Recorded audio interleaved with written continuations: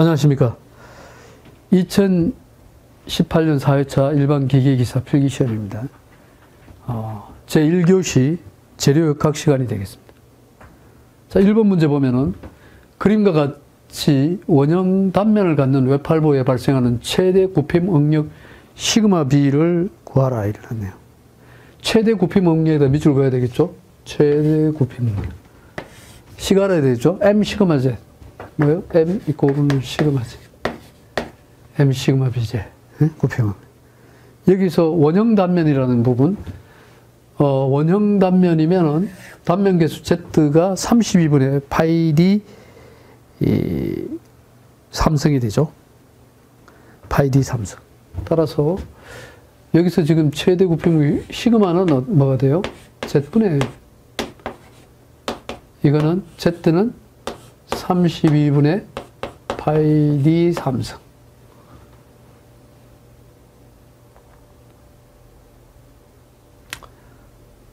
따라서 이렇게 되겠죠? 그러면은 32점포에 올라가죠. 파이 D 30, 32M 이렇게 됩니다. 이거를 풀면은 파이에다가 지름 D 여기서 어 지름은 식을 유도하는 거니까요. 파이 D 30, 32M인데 M은 또 얼마냐? M 이코르는 흰 P에다가 모멘트니까 PL이죠. PL. 고로 시그마 이코르는 얼마예요? 32, 에, 파이 D 삼성분의 32 PL이 되죠. 파이 D 삼성분의 32 PL. 파이 D 삼성분의 32 PL. 이게 답입니다. 음, 따라서 1번이죠. 답은. M 시그마 Z, 아, 시그마는 Z분의 M이 되고요. 32분의 파이 D 삼성이 돼서 시그마는 파이 D 삼성분의 32PL. 자주 시험에 등재되니까, 나오니까 꼭 요거는 알아둬야 되겠죠. 모멘트, 기본 모멘트가 MPL이고요. 뭐야, 최대 굽힘 모멘트 M 시그마 Z라는 두 개의 식이 같다는 전자에서, 같다는 전자에서 이루어지는 거죠. 따라서 M 대신에 뭘 대입해요? PL을 대입하면 이게 됩니다. 양단이 힌지로 된 길이 4m인 기둥의 임계 하중을 오일러 공식을 사용하여 구하면은 약 여기 오일러 공식에다 밑줄 그어야 되겠죠. 몇 뉴턴인가? 임계 하중 공식이 오일러 공식에 임계 하중 공식 있죠. 임계 하중을 뭐 이니셜을 P라고 하면은 P는 n 파이 자성 n 파이 자성 길이 L 자성분의 L 자성분의 EI라는 식이 있습니다.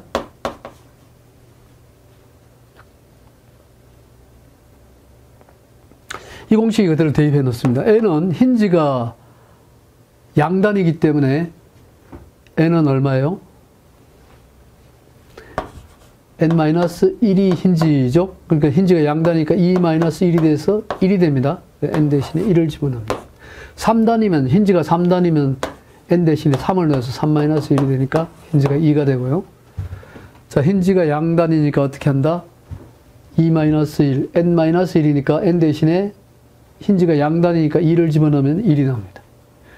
그럼 1 곱하기 파이 자성 여기까지는 됐고요. 길이 L이라는 부분이 있죠. 길이 L이 지금 4m고 그 다음에 센치 센치 이렇게 나와 있는데 에, 2를 보니까 200기가 파스칼이라고 나와 있네요. 그러니까 이 200기가 파스칼을 그러니까 메가 파스칼 단위로 고치는 게 중요하죠. 이를 뭐다? 메가 파스칼 단위로 고치면은 equal은 200 곱하기 메가 기가단 메가 곱하기 10의 3승 메가 파스칼이 되고 메가 파스칼은 1 메가 파스칼은 얼마다? 1 뉴턴 per 밀리미터 제곱 이렇게 됩니다. 그러면 우리가 이 단위를 메가 파스칼 단위로 고치 밀리미터로 다 고쳐버리면 어떠냐 이렇게 되겠죠. 그러면은 전체 단위를 메가파스칼 단위의 밀리미터 단위로 고쳐서 계산하는 방법이 있고 아니면은 파스칼 단위로 그대로 두고 메타 단위로 바꾸는 방법이 있습니다. 이렇게 고쳐가지고 이 단위의 메가 밀리미터 제곱의 기준으로 해서 전부 밀리미터 단위로 고치는 방법이 있고 또는 1파스칼이 얼마다? 1파스칼은 1뉴턴 per 메타의 제곱이니까 메타 단위로 다 파스칼 단위로 고쳐서 메타 단위로 고치는 방법이 있죠. 좋아요. 그러면 뭐 메타 단위로 고쳐봅시다. 좋아요. 두 중에 하나를 선택해도 돼요. 그러면 L이라는 것이 4m니까 메타에서 4m 그대로 둡시다. 다음에 E라는 부분이 EI인데 E는 얼마다? 200기가 파스칼이니까요. 기가 파스칼을 만약에 일반 파스칼로 바꾸면은 이거는 200 곱하기 메가 기가 키로 메가 기가죠. 키로 10의 3. 그렇게 기가는 10의 구성 파스칼이 됩니다. 그래서 10의 구성 파스칼. 200 곱하기 10의 구성으로 하고 이는 곱하기 얼마냐? 여기서 i라는 것이 단면계수죠. i 단면계수는 사각 단면계수는 i는 12분의 BH의 삼성이에요. 어. i가 12분의 BH 삼성이기 때문에 12분의 BH 삼성은 곱하기 12분의 12분의 B 값이 얼마인가 봐요. B가 폭이죠. 폭이 4니까요. 메타 단위로 바꾸면은 1m는 100cm가 되기 때문에 메타로 바꾸면은 100분의 4가 되니까 0.04 곱하기 또 0.0, 0.02의 몇 승? 4, 세제곱. 이렇게 되겠네요. 그대로 써, 써줍시다. 0.04 곱하기 0.02의 3승. 이렇게. 결론적으로 이게 답은 뭐로 나와요? 아, 답은 뉴턴으로 나온다는 거죠. 기본 단위는 뭘로 바꿨어요? 메타 단위로 다 바꿨다는 거죠. 그래서 이것도 메타 단위로 바꿨고요. 파스칼이니까 안에 메타가 들어있죠. 이것도 뭐다? 메타 단위로 바꿨으니까 나머지는 볼 거 없죠. 이렇게 해서 어, 계산기로 직접 어, 튕겨서 풀면 되겠습니다. 여러분 책에는 보면은 이 4를 4천으로 바꿔가지고 미리 단위로 바꿨죠. 메가파스칼 단위로 바꿨습니다. 메가파스칼 단위로 바꿨어요. 왜? 1메가파스칼은 1뉴턴 밀리미터 제곱이니까 미리로 바꿨어요. 똑같은 겁니다. 1 곱하기 파이 자선 곱하기 그러면 이거는 미리로 바꾸니까 4는 4천이 되죠. 4천. 다음에 아, 메가파스칼 단위로 바꿨으니까요. 10의 3성이 되죠. 200 곱하기 10의 3성이 되고요. 곱하기 12분의 이제는 음, 이 단위를 미리로 바꿨으니까 1cm 10mm가 되니까 40 곱하기 20 이렇게 됩니다. 20의 3성. 이거를 푸는 거나 이거를 푸는 거나 두 개를 풀어보면은 답이 똑같이 나오죠. 예, 똑같이 나옵니다. 예, 이렇게 해서 푸는 거나 이렇게 푸는 거나 같습니다. 결과치는 결과치는 3200 뉴턴이 돼서 290 뉴턴이 돼서 답 2번이 되겠습니다. 예, 2번 풀었습니다. 어떻게 푼다? 아, 단위를 갖다가 하나로 통일시킨다. 미리로 통일시키든 여기서는 메타로 통일시키든 둘 중에 하나를 선택해서 하면 되겠다. 단위 한산이 아주 중요하다는 걸 알아야 되죠. 자, 오일러 공식에서는 다시 한 번 더 얘기하면 오일러 공식의 P라는 것은 N 파이 자성, N 파이 자성 곱하기 L 몇 성? 3성분의 2i라는 거. L 어, 자성분의 2i죠. L 자성. N파이 자성에 L 자성분의 2i라는 거.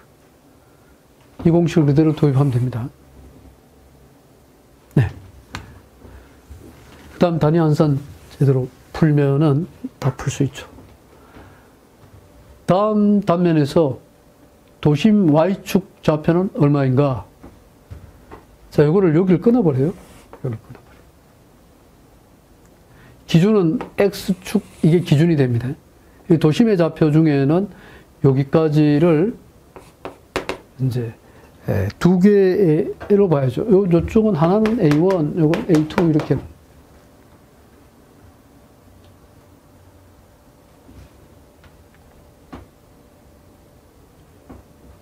그래서 어, A1과 A2의 식은 원래 도심 전체의 GX라고 하면 GX는 도심의 기준이죠. 인터그럴 A의 Y, dA 이렇게 되고요. YDA를 어떻게 쓰냐면은 A, Y 바 이렇게 쓴다는 거죠. 그럼 이제 Y 바를 구하라. Y 바는 A분의 A는 A는 A1 플러스 A2가 되는 거예요. 그래서 A분의 Y를 A1, A1, Y1 플러스 A2, Y2 이렇게 되죠. A분의. 따라서 A 대신에 A1과 A2, A는 A1, A2라고 해요. 다시 말하면 A1 플러스 A2분의 A1, Y1 플러스 Y바1 플러스 A2, Y바 2 이렇게 돼요. Y바 2 이렇게 돼요. 자, 이거를 구하면 A1, Y1은 A1은 자, 이, 여기서 우리가 단위가 없죠. 그러니까 그대로 A1을 20 곱하기 80으로 가면 되죠. 20 곱하기 80 더하기 A2는 60 곱하기 40이 되네요. 60 곱하기 40. 그런데 우리가 잘 해. 요게 뭐다? 요게 Y1이면은 Y2는 A2에 요게, 요게 Y Y바 1과 Y바 2가 됩니다. Y바 2. 따라서 우리가 아, 여기서 A1은 A1은 20 곱하기 80이죠. A1은 20 곱하기 80. 20 곱하기 80은 그 다음에 곱하기 Y바 1은 이게 10이 되겠죠. 10 플러스 A2는 60 곱하기 40이고 Y바2는 어, 20에다가 여기가 30이 됩니다. 절반이니까 30. 그러면 20에다가 30을 더하면 50이 됩니까? 20, 30. 50. 이렇게 해서 우리가 이 Y바, Y축의 도심, Y바를 구할 수 있다. 전체 도심 구하는 식입니다. 음. 풀면은 답은 34가 나오죠. 34. 어, 단위 자체가 있는 건 아니죠. 왜냐면 이, 이 기본 단위가 센치라고 써놓지 않았죠. 그렇다면 기본 단위는 34가 답이 되겠습니다. 풀 수 있겠죠? 기준축이 뭐다? 여기가 기준입니다. 기준에서 여기서 가운데 20의 절반이 y, y바 1이고요. 요 A2의 절반은 30이 되는데 이 가운데 20하고 더해가지고 이 전체가 얼마다? Y바 2는 50이 된다. y바 2는 50이 되고 y바 1은 20이 된다. 요것만 알고 있으면 어, 우리가 충분히 구할 수 있는 내용입니다. 길이가 50cm인 외팔보. 외팔보 한번 그려보죠.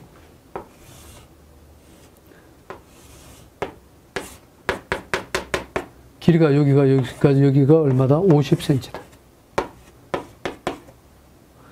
50cm는 외팔보예요. 자유단에 정적인 힘을 가했다. 여기에다가 정적인 힘, 집중 하중을 가해서 자유단의 처짐량이 1cm였다. 이렇게 가는데 이 처짐량이 여기서 이렇게 처지는 양이 1cm였다.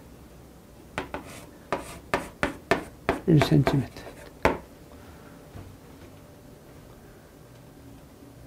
이 처짐량에 대한 처짐량이 1cm, 처짐량에 대한 공식을 알아야 되죠. 외팔을 탄성 에너지로 변경한다. 아, 이럴 때 필요한 최소한의 에너지는 하중 P가 가해질 때요. 이 L이죠. L 이꼬르는 50.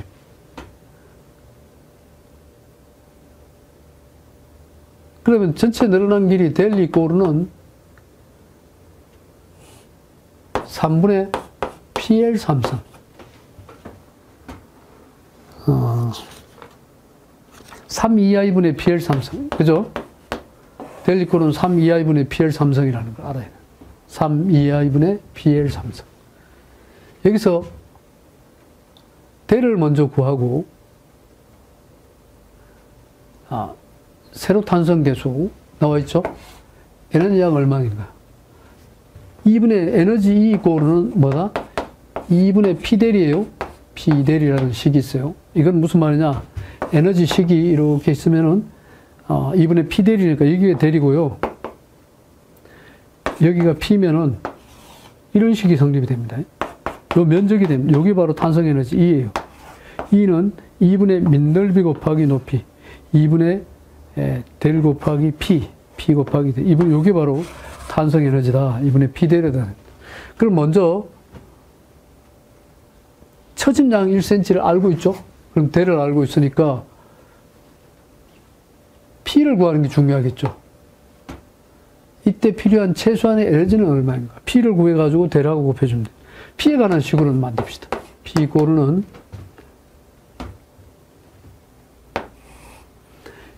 음, 우변을 좌변으로 이항하면은 L 3성분의 3 2i 델 이렇게 나오죠? 맞죠? P는 L 3성분의 3 2i 델. 좋아요. 그러면 여기서 이제 L 3성원 길이 L이 50이죠? 단위 자체는 전부 뭐 무슨 단위로 바꿀까요? 한 변의 길이가, 단면은 한 변의 길이가 2cm인 정사각형이라서. 요거에, 요 단, 단면이 요런, 요 렇게 생겼는데, 요게 2cm, 2cm.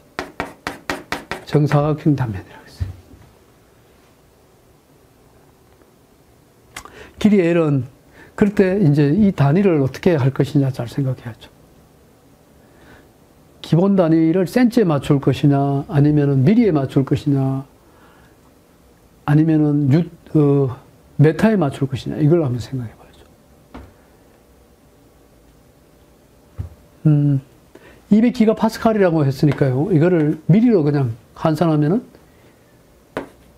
200 곱하기 이제 합니다. 10의 3성 뭐 메가파스칼이고요. 1메가파스칼은 얼마라고요? 1메가파스칼은 1뉴턴 퍼 밀리미터의 제곱 이렇게 미리에다 맞춥시다.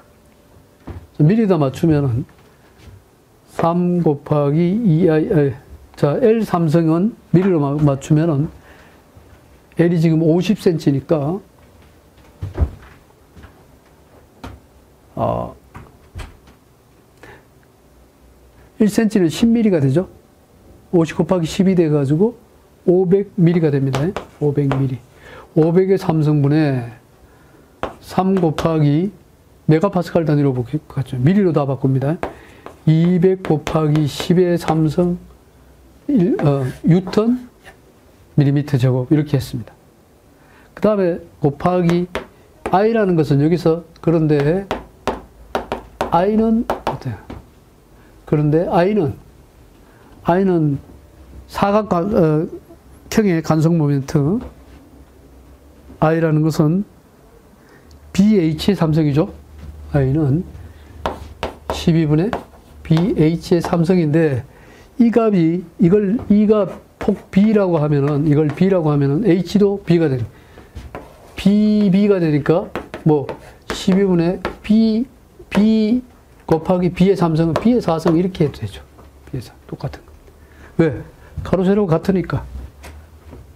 그래서 12분의 BH 삼성을 12분의 B 사성으로 해도 되죠.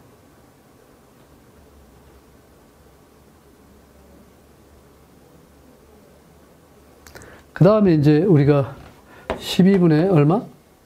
B4성. 자, B4성은 B가 가로 세로가 2cm라고 했으니까 2cm는 20이 됩니다. 20mm가 되니까 20의 몇 성? 4성. 곱하기 i는 됐고요. B4성은 요걸 12분의 20의 4성이 됩니다. 20의 4. 그 다음에 대련 늘어나는 처짐이 1cm니까 미리로 바꾸면 10이 되죠. 이렇게 됩니다. 요거를 풀어주면은 힘 P를 알 수 있어요. 힘 P를 풀어보니까 640뉴턴이 나왔다. 640뉴턴. 이제 어느 공식에 대입해요?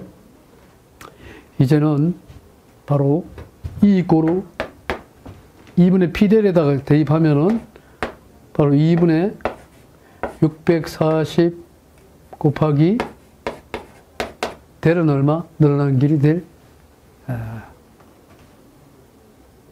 탄성에너지 E를 구하는데 자 이걸 또 조심해야 돼요. 최소 몇 줄인가요? 1줄은 1줄은 1뉴턴 메타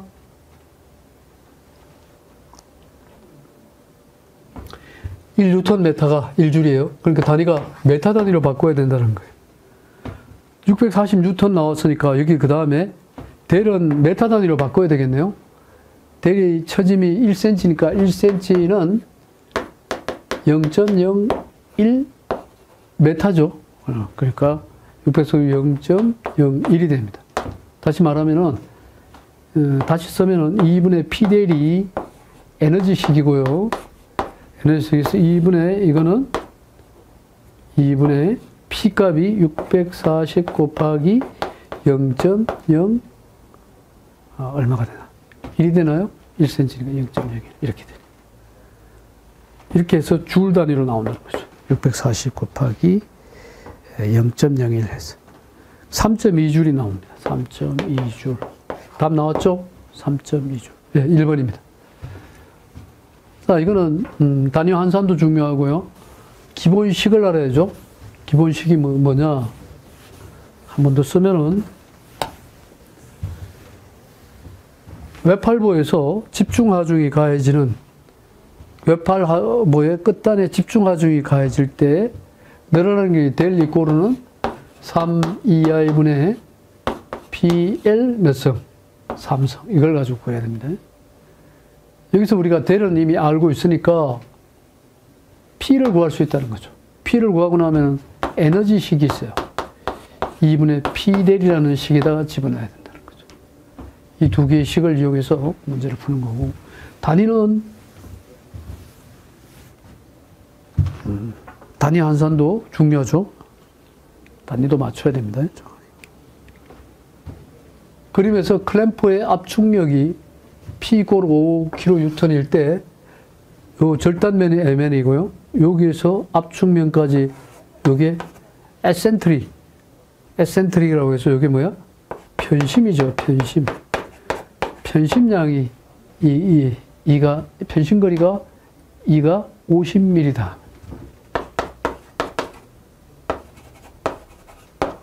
재료의 허용 능력이 나와 있고요. 그러면은 MN 단면의 최소 두께 H를 구하면 얼마냐? 요 단면에 최소 두께 H, 요걸 H라 그랬고, 요걸 B라고 했어요. H를 얼마로 하면 되겠느냐? 중요한 식이 있어요. 시그마 이꼬르는 편심제 쓸 때, 편심이라는 말이 붙으면 이 식이 있습니다. 플러스 A분의 P에다 Z분의 M이라는 식이 있어요. 편심일 때 Z분의 M식, 이 식을 이용해서 푸는 것이다. 시그마는 A분의 P 편심일 때 편심이 져 있다. A분의 P 플러스 Z분의 M이다. 여기서 이제 단면계수 Z는 사각 단면계수니까 Z는 어떻게 풀면 돼요? 사각이니까 12분의 아, 단면계수 Z는 6분의 BH 자성, 12분의 BH 삼성, 6분의 BH 자성이죠. 6분의 얼마다? HB, H, 요거는 H폭이니까요. HB의 자성 이렇게 됩니다. 아, 단면계수 Z는 6분의 HB, 또 모멘트 M이 중요하죠. M은 어디까지? 여기 수직 하중이 작용하는 P가 있고요. 이 모멘트점이 바로 여기에요.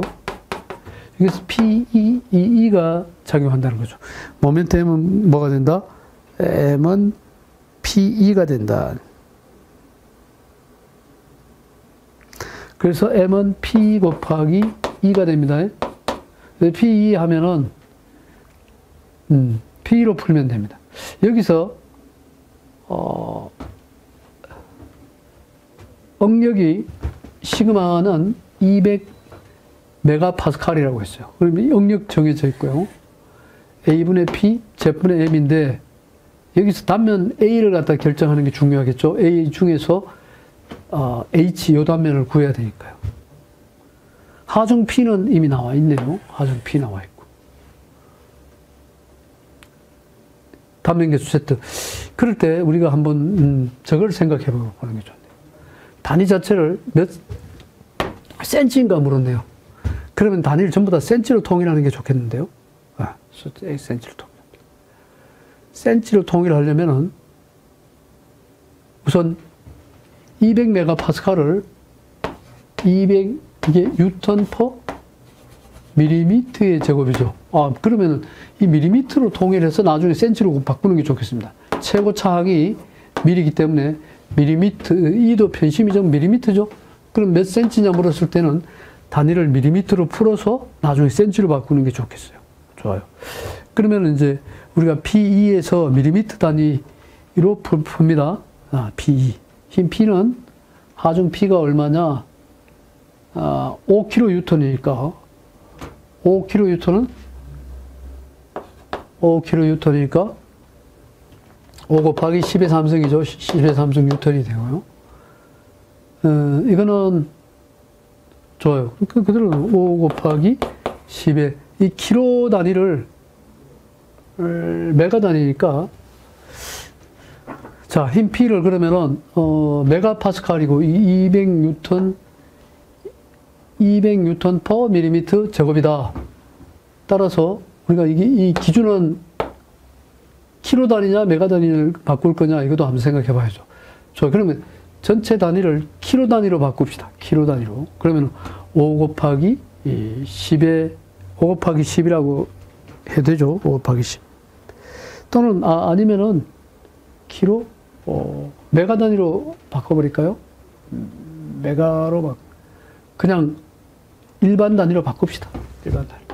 그러면 5kg는 5 곱하기 10의 3승 곱하기 10의 3승은 5kg는 5 곱하기 10의 3승 뉴턴이니까 이렇게 바꾼 겁니다. B2는 얼마예요? 편심이 50이라고 했어요. 단위를 어, 밀리미터 단위로 그대로 썼어요. 밀리미터 단위로. 그 다음에 Z 이꼬로 6분의 BH, 이 HB 자석은 6분의 폭이 H고요. H, 그 다음에 B의 자석. B는 여기 나와 있네요. B는 10이니까 10의 자석, 10의 자석. 이렇게 H를 D로 씁시다. 숫자 6분의 10의 자석 H. 시그마는, 시그마 A는 어떻게 풀면 돼요? 이거는 200 곱하기 파스칼 단위로 그대로 바꿔야 되겠죠? 왜 그러냐면 5kN을 뉴턴 단위로 바꿨으니까 이것도 파스칼로 바꾸고 200에 10의 6성 파스칼이 됩니다. 파스칼. 그럼 단위 자체는 다 바꿔놨어요. 이거는 음, 이게 뭐야? 단위는 뉴턴 어, 단위가 밀리미터가 되죠. 뉴턴 밀리미터가 됩니다. 뉴턴 곱하기 밀리미터. M은 자 단면계수 Z Z도 기본 단위가 아, 10의 밀리미터의 삼성이 되겠죠. 어, 좋아요. 자, 이렇게 해서 우리가 아, 보면은 A라는 것은 A는 얼마예요? A는 HB죠. HB분의 아, 하중 P가 5 곱하기 10에 여기 P예요. 5 곱하기 10의 예, 3성 플러스 반면계수 Z는 6분의 10의 자성 H가 되죠? 6분의 10의 자성 H이고 M은 얼마예요? M은 5 곱하기 10의 3성 곱하기 50 이렇게 됩니다. 근데 B도 우리가 알고 있어요. B는 10mm라고 했으니까 10mm라고 했으니까 10H라고 하면 되겠네요. 10H. 이게 얼마다? 시그마를 그대로 풀면은 시그마는 200 곱하기 10의 6승 이렇게 됩니다. 그러면은 미지수를 한번 따져보자는 거죠. 여기서 우리 뭐 미지수를 따져보면은 h밖에 없죠. 미지수는 hh. 여기서 h에 대해서 구하면 되죠. 그 요놈을 구하면 돼요. 요 놈을. 요 놈을 우리가 구하면 된다. 요거는 6이 위로 올라가죠.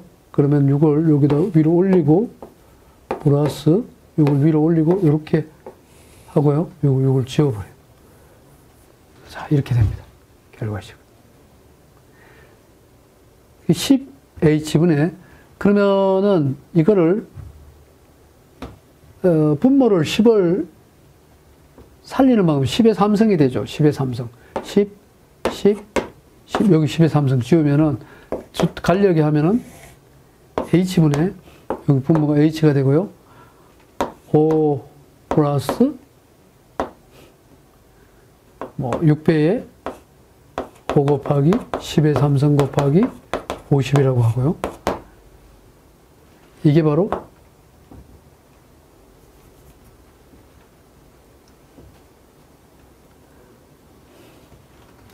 이게 200 곱하기 10의 6성이니까 h 구할 수 있겠네요. h 고르는 200 곱하기 10의 6성분의 5 플러스 6의 5 곱하기 10의 3성 곱하기 50 이렇게 됩니다. 이 단위는 뭘로 나온다? 밀리미터. 이거는 단위가 밀리미터 단위예요. 단위가 밀리미터로 나오니까 센치 10, 10 으로 나눠가지고 센티미터로 바꿔야겠죠. 이 단위가 H는 밀리미터가 됩니다. 자, 미지수 한 개밖에 없잖아. 그 10의 10곱, 어, 10의 3성이 아니네요. 10에 이렇게 풀면 안 되네요. 잘못했어요. 다시.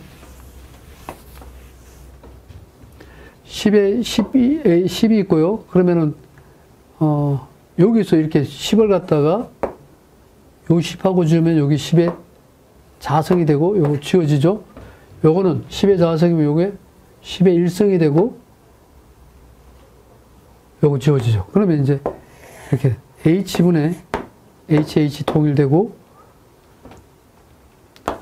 5 곱하기 10의 자성 플러스 6의 5 곱하기 10 곱하기 50 이렇게 됩니다. 이게 200 곱하기 10의 6성이 됐으니까 또로 고로 H 고로는 H는 200 곱하기 10의 6성 200 곱하기 10의 6성분의 5 곱하기 10의 자성 플러스 6의 이거는 뭐 우리가 꼭 이렇게 쓸 필요 없죠. 바로 계산을 하면서 해버리면 빠르죠. 이 단위는 뭘로 나온다? 밀리미터 단위로 나온다는 거죠. 밀리미터 나오면 센티미터 단위로 바꿔주면 돼요. 그죠? 어, 됐습니다. 5 곱하기 10에. 이렇게 해서 H를 풀어낸다.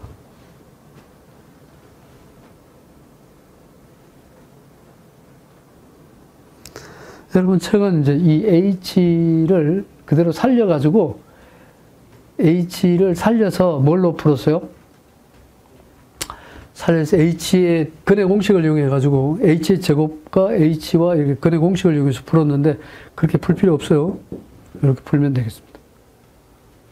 단위는 밀리미터로 나오는 것을 센티미터로 바꿔야 되겠습니다. 네. 자, 이거의 가장 중요한 식은 시그마는 편심져 있을 때 시그마는 어떻게 한다?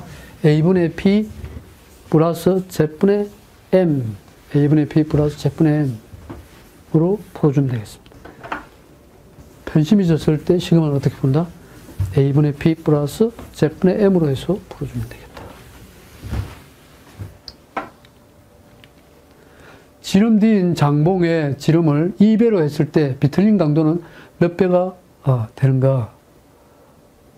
봉이 장봉이라고 그랬어요. 이런 봉이에요. 이런 봉에 지름을 2배로 확장했다는 거죠. 지름을 2배로 확장했다. 그럼 지름을 2배로 했을 때 비틀림 강도는 몇 배가 되는가? T는 타우제, 비틀림 강도의 식, 강도 밑줄 그어야 되겠죠? T는 타우제.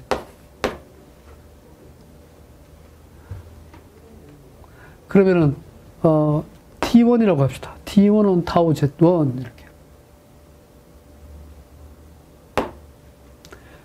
T2를 2배로 한 T2는 타우 Z2가 되죠.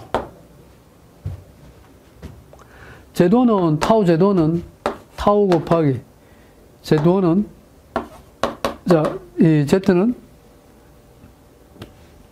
음 16분의 파이 D 삼성이 되죠. 16분의 파이 D 삼성이 되니까요. 그러면 이거 타우는 16분의 파이 D1의 삼성.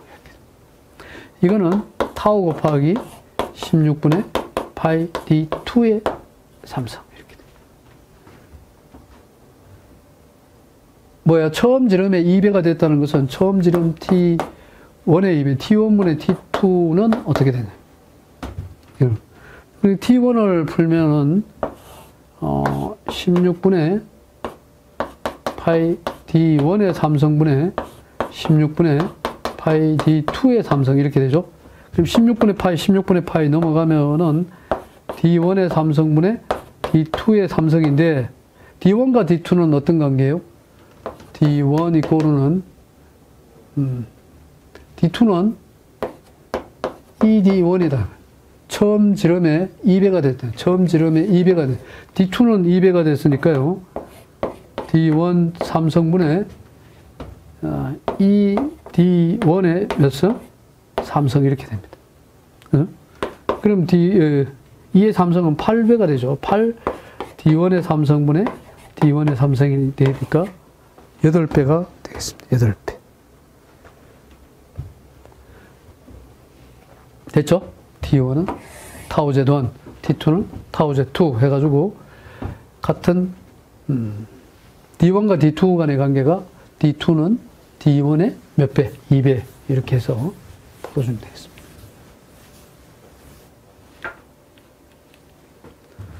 강선의 지름이 5mm이고 코일의 반지름이 50mm인 15에 감긴 스프링이 있다. 이 스프링식이죠.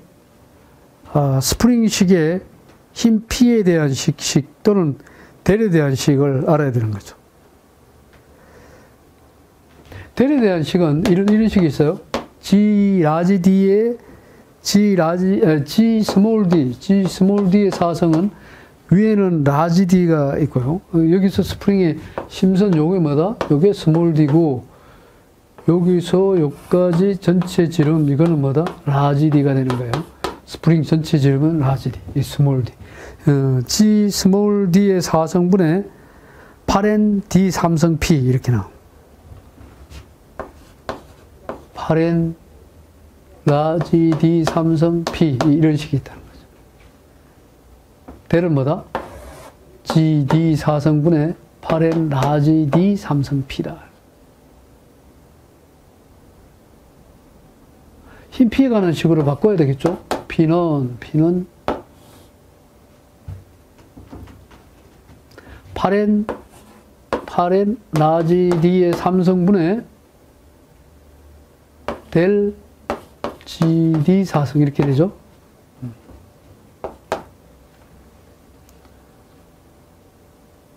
이제 예, 대입하면 되겠습니다. N은 권선, N은 권선이라 그래요. N은 뭐라 한다? 권선, 권선 수가 되죠. 권선 수. small d는 바로 어, 스프링의 권선이 되는 강선, 권선. large d는 스프링 자체의 지름, 스프링 음, 권선이 되고 이게 뭐예요? 스프링 권선 지름이 되고요. 이건 스프링 지름이 됩니다. 스프링 지름. del은 늘어난 길이죠. del 늘어난 길이.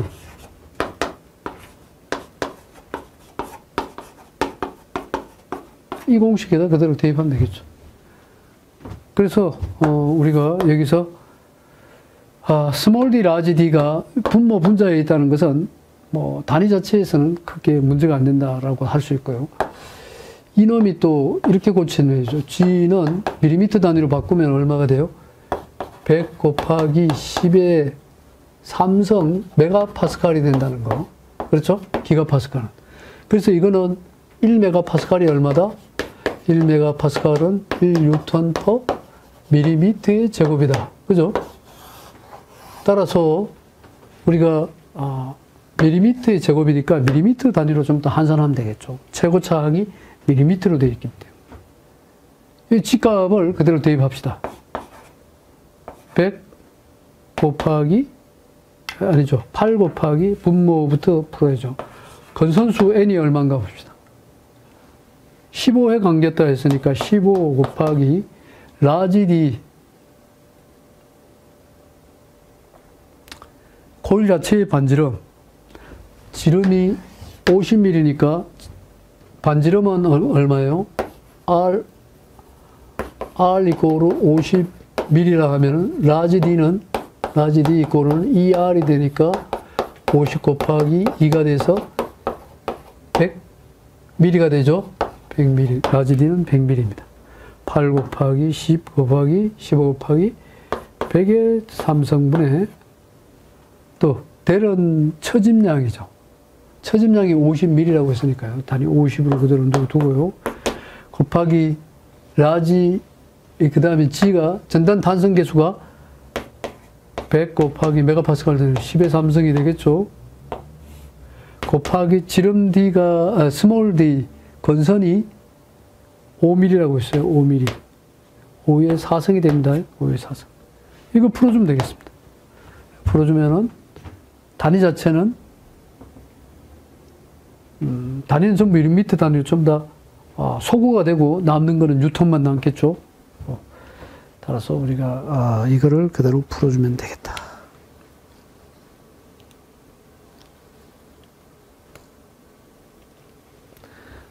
이거를 풀면은 어, 결과값이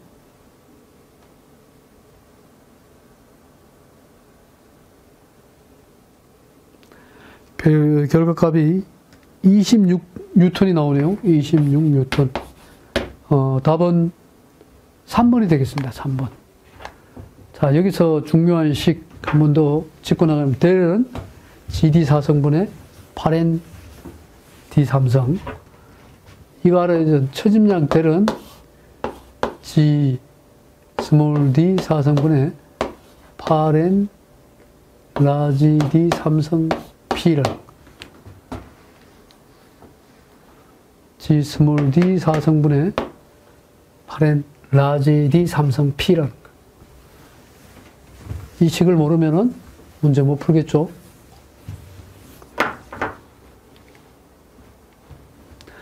다음 그림과 같이 단순 지지보의 B점에서 반시계 방향의 모멘트를 받고 있다. 이때 최대 처짐이 발생하는 곳은 A점으로부터 얼마 어, 영 역에 되겠는가. 이건 여러분 뭐 어, 외워야 됩니다. 이 단순 지지보에서 B점에 반력 MB가 작용하면은 A점으로서 어, 얼마 영역에 절반 영역이라 하면 여기라 합시다. 어, 요게 2분의 1이라고 합시다. 2분의 L. 요것도 2분의 L인데 만약에 모멘트가 여기 걸린다 그러면은 어느 영역에 최대 처짐이 생기는 거예요. 처짐이 생기는 거예요. 일반적으로는 이게 없다 그러면은 집중 화중이 작용한다 하면 최대 처짐은 이렇게 되겠죠. 근데 이 이쪽에서 생기면은 어, 떤 현상이 일어날 수 있는 거예요.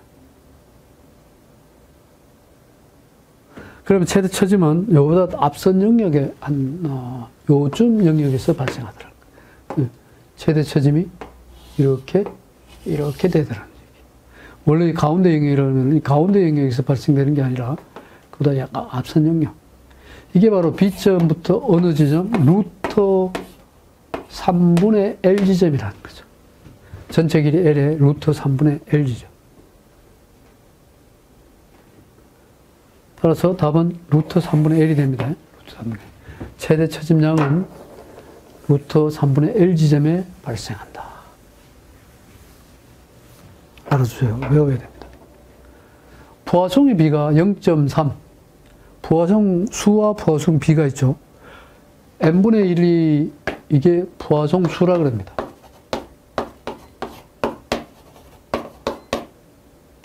누는 부하성 비라고 합니다. 그럼 누와 n분의 1은 바로 아, 같다고 이렇게 할 수 있어요. 그럼 부하송 B와 부하송 수에서 이런 식이 있어요. 세로 탄성계수 E와 G의 B를 구하라. G, G에 관한 식이 G가 부하송 음, B에서 이런 식이 있어요. 2에 M 플러스 1분의 2 플러스 M 1분의 M이 해가지고 M이라고 해줘. M이, M이, M이. 근데 이 부하송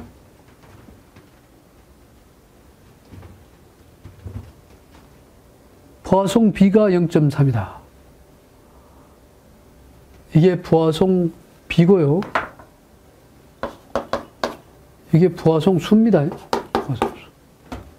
그러면은 우리가 부하송 B가 0.3이다. 부하송 수가 부하송 B가 0.3이라는 말은 부하송 B가 0.3이라는 이게 부하송 B입니다. 이게 부하송 수고요. 어. 부하송 B 형식으로 바꿔야 되겠죠. 그러면 요 m은 m 대신에 뭘 집어넣어야 돼요? n분의 1을 집어넣으면 누가 되니까요.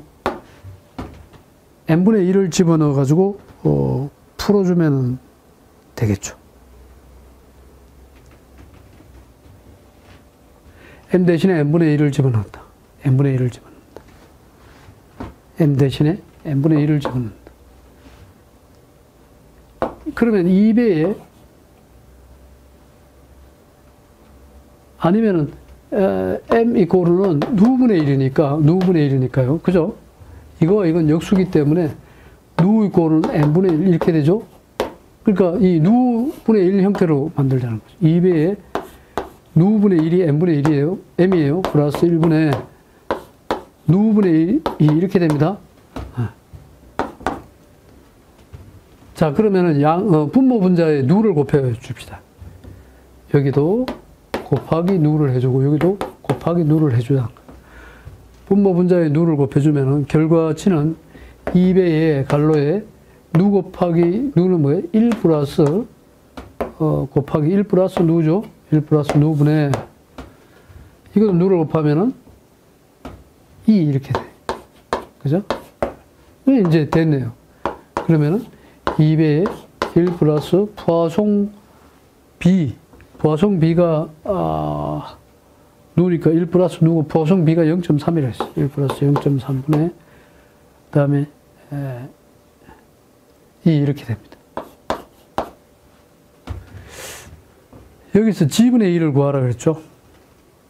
G분의 2는 G가 이쪽으로 넘어오면은, 고로 G분의 2 고로는 얼마예요? G분의 2.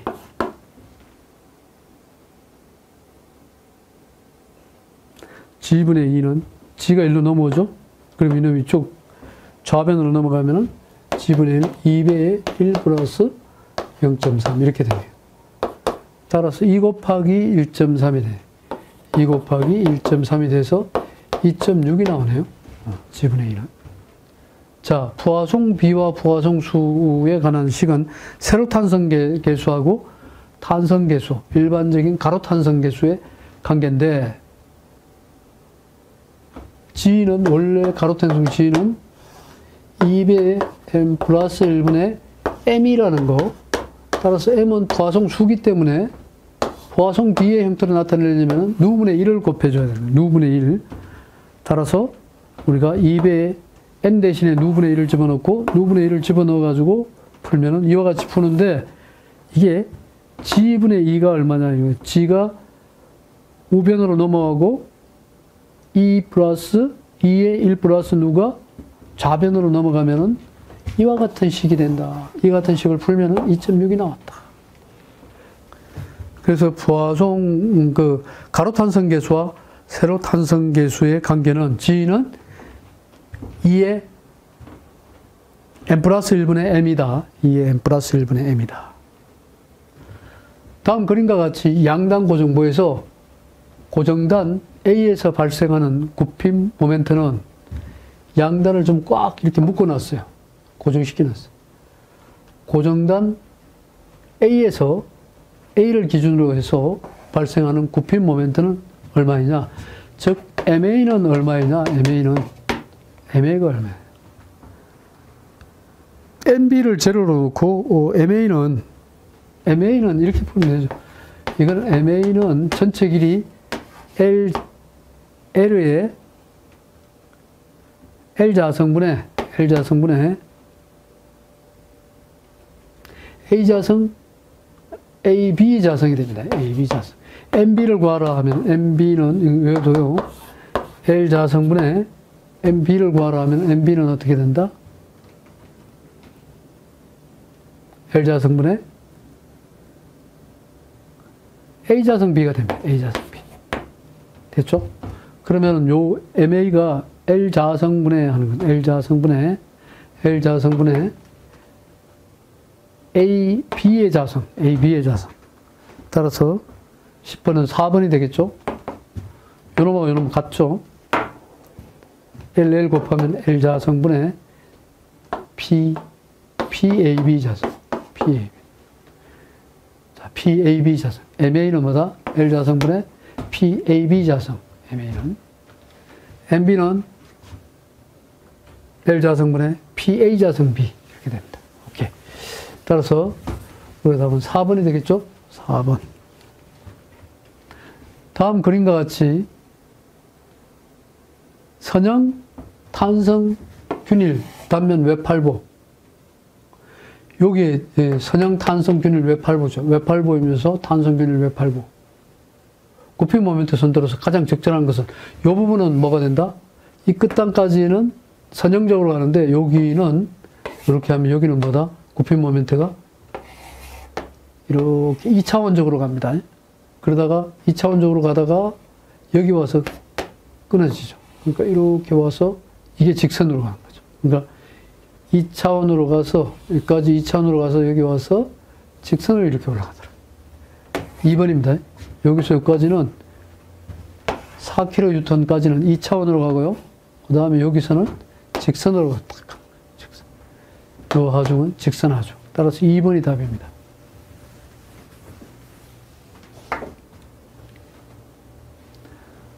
다음 단면의 도심축 XX 단면이죠. XX 단면에 관한 관성 모멘트는 몇 메타 사성인가? 이 관성 모멘트 구하려면 이 면을 우선 다 막아야 돼요. 막고 이 전체 면에서 이 면을 빼주는 쪽으로 해서 어, IX는 IXX 이코르는 12분의 BH 삼승 large BH의 관성 모멘트니까 삼승이죠. BH3. BH3승이 되죠. BH3.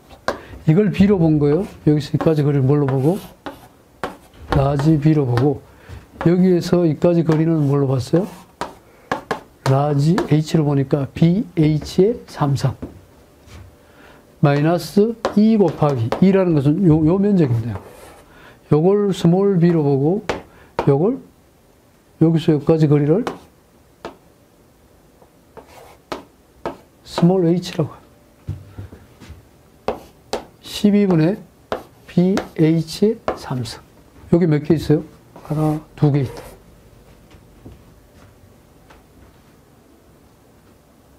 됐죠? 그러면 이제 뭐 12분의 단위 자체는 다 미리 단위인데 아, 몇 메타 사승인가 물었네요. 메타 단위로 바꿔줘야 되겠네요. large B는 20이니까요. 20은 1000분의 20이 되니까 1000분의 20이 되니까 0.02가 되나요? 어, 0.02. 좋아요. 그러면은 0.02 곱하기 여기서 이 전체 거리는 여기서 여기까지는 얼마예요? 여기는 60에 플러스 20 플러스 20인가 어, 100mm가 되죠? 100mm니까 100mm는 0.1이 되네요. 0.1에 3성 마이너스 8로 2 곱하기 12분의 small b가 여기서 여기까지 거리가 얼마냐. 전체 거리가 100mm니까 100mm에서 가운데 20을 빼면은 100에서 100mm고, 어, 여기까지는 얼마예요? 여기가 40이고, 여기가 40, 40이죠? 40. 요 길이가 40이에요, 40. 높이 H는 60이 되네요. 40, 60이네요. B는 40, 40이니까 0.04가 되고요. 0.06이 되겠네요. 0.06의 3승. 자, 이렇게 해서 우리가 관성 모멘트 IXX 가운데 기준으로 해서 구해주면 되겠습니다. 직접 계산기를 튕겨 보면 6.893 곱하기 10의 마이너스 6성, 아, 이네. 6.893 10의 마이너스 6성. 계산기 튕겨요.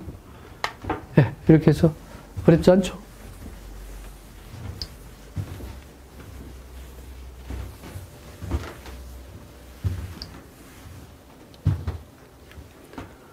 한 면의 길이가 10mm인 정사각형 단면에 막대가 있다. 온도를 60도씨 상승시켜서 상승시켜서 길이가 늘어나지 않게 하기 위한 8kN의 힘이 필요할 때 막대의 선팽창 계수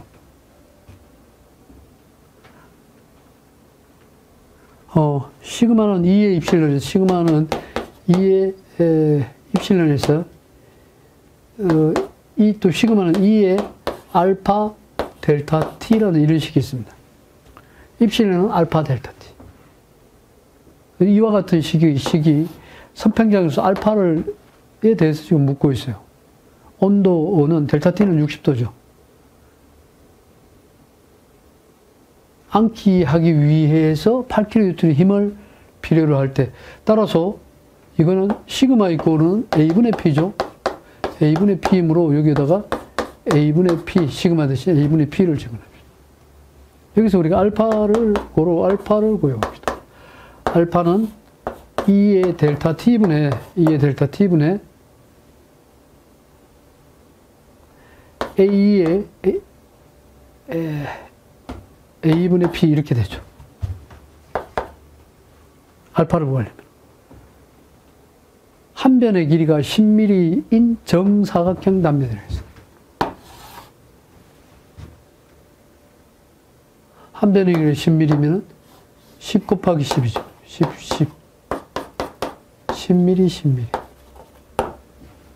자, 그러면 이제 A 값은 나왔는데 10mm가 아니라 10mm예요. 10mm. 그러면 이제 여기서 우리가 또 어, 단위 환산을 제대로 해야 되겠죠.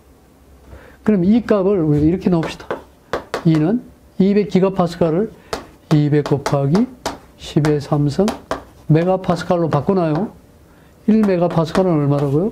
1메가파스칼은 1뉴턴 퍼 밀리미터의 제곱이니까 단위 자체를 밀리미터로 환산해 버리죠. 단위를 밀리미터로 환산하고요. 음.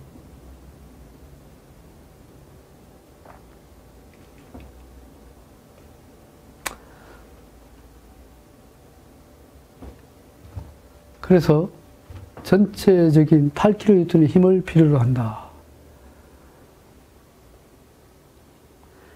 단면적 A를 10mm, 10mm로 나왔죠? 그러니까 10 곱하기 10이 됩니다. 10 곱하기 10. 좋아요. 곱하기 2는 2는 200 곱하기 10의 3성 이게 메가파스칼 단위로 바꾸니까 이것도 메가로 바꾸면은 힘 P 이꼬르는 8 곱하기 10의 마이너스 3성 메가 뉴턴이 되죠. 이렇게 바꿔놓는 게 좋겠죠. 메가 메가로 다 통일시켜줘야 되겠죠. 델타 T는 60, 60도로 해보겠습니다. 60도. 힘 P는 8 곱하기 10의 마이너스 3성 메가 뉴턴으로 바꿔, 메가 파스칼 메가. 메가 메가로 바꿔줘야죠. 메가 메가. 단위를. 여러분 책이 잘못했으면 이거 마이너스 삼성입니다. 메가 단위로 바꿔줘야 돼요. 메가유트. 13번 문제까지 풀어봤죠. 14번 문제로 넘어가겠습니다.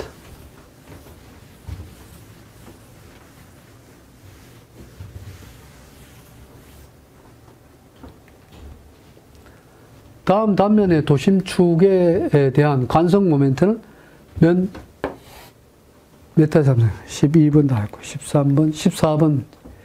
길이가 L인 외팔보에서 그림과 같이 삼각형 하중을 받고 있을 때 최대 전단력과 최대 굽힘 모멘트는 되냐? 최대 전단력과 최대 굽힘 모멘트. 시그마 B 맥스와 최대 전단력 타우는 어떻게 되냐?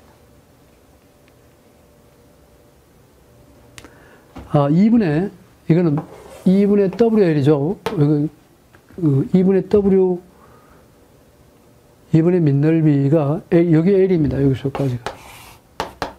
여기 L일까요? 힘 F 이코르는 최대 전단력, 타우가 아니라 전단 응력이고요.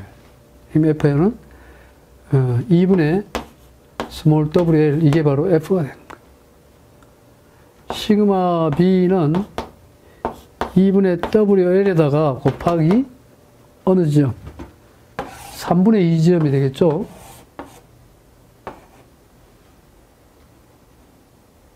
그러니까 여기 기준이 되니까요. 기준점이 되요 이거는 3분의 1 지점이 돼요.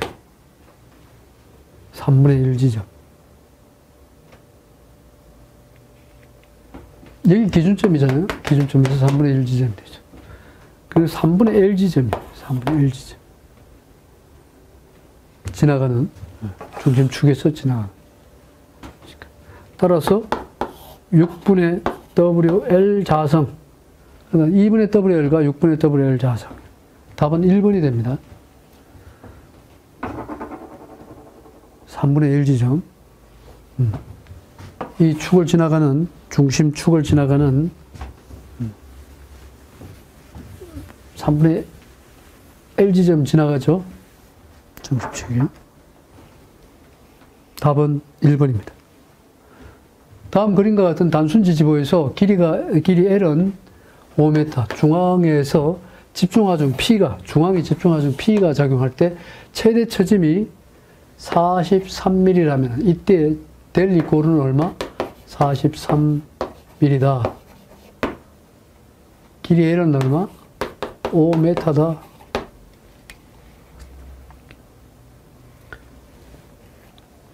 이때 집, 집중하중 P의 값은 몇 킬로뉴턴인가? 집중하중 P의 값은 몇 킬로뉴턴인가?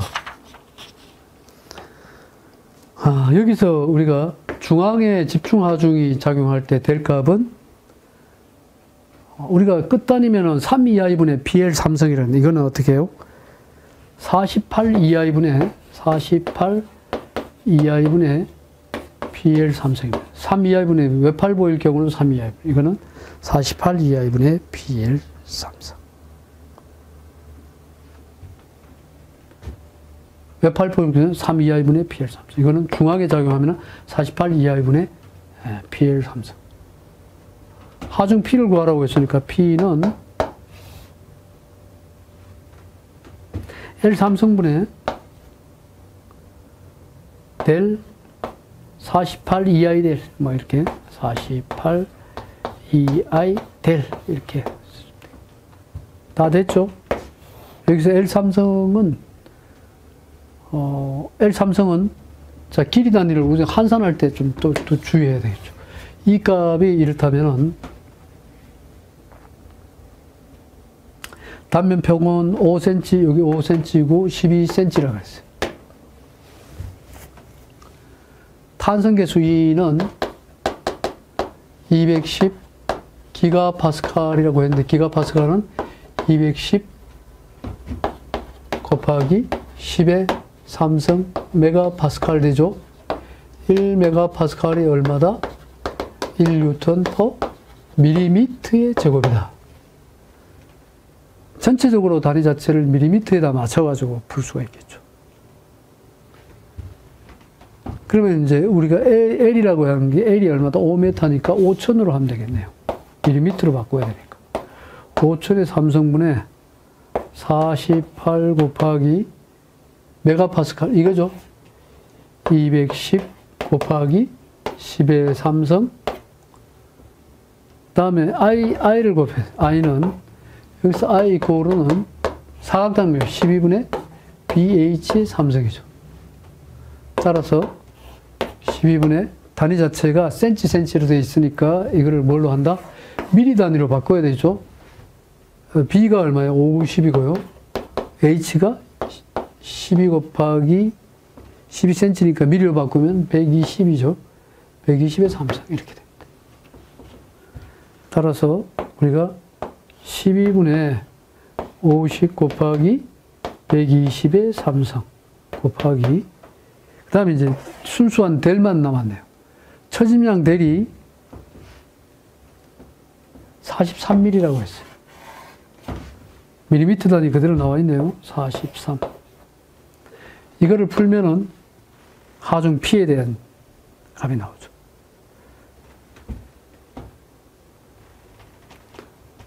자, 단위 자체는 좀 밀리미터에 맞췄죠? 네. 이렇게 해서 하중 P를 구하면 되겠습니다. 여러분 책에는 이제 이 L, L을 메타 단위로 바꿔가지고 계산을 했는데, 이렇게 해도 상관없어요. 메타 단위로 바꾸면 또 메타에 다 맞게 식을 바꿔주면 되는 거고요. 똑같습니다. 이렇게 푸나? 여러분 책대로 푸나? 자, 이렇게 했을 때 우리가 아, 기본 P는 자세히 보면 뭘로 나와요? 메가파스칼에 메가 나오니까 이 답은 아, 메가 뉴턴으로 나오죠. 메가 뉴턴으로 나온다는 거. 메가 뉴턴 나오면 다음에 무슨 뉴턴으로 바꿔야 돼요? 킬로 뉴턴을 곱하니까 곱하기 10의 3승 킬로 뉴턴으로 빠져나오면 되겠죠. 이 답은 메가 뉴턴으로 나오는데 메가 뉴턴으로 나오는데 이거를 킬로 뉴턴을 바꾸기 위해서는 10의 3승을 곱해가지고 빼내면 되겠습니다.